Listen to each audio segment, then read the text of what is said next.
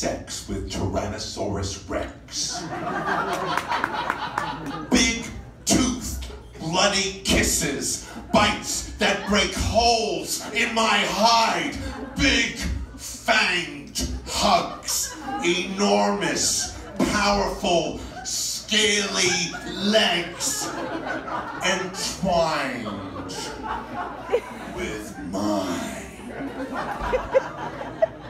Paleolithic, mythic, roaring passion.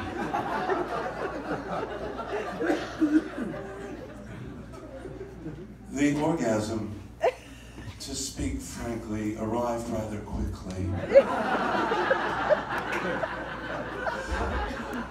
There was not a lot, a lot of hugging or cuddling afterwards, as, as far as I recall.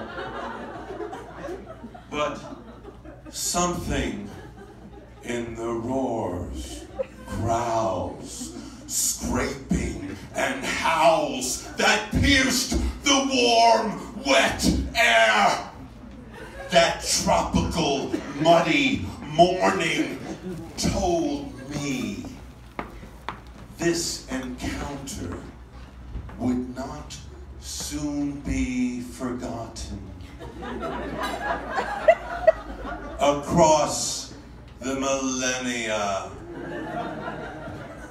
the millions of years, my progeny would know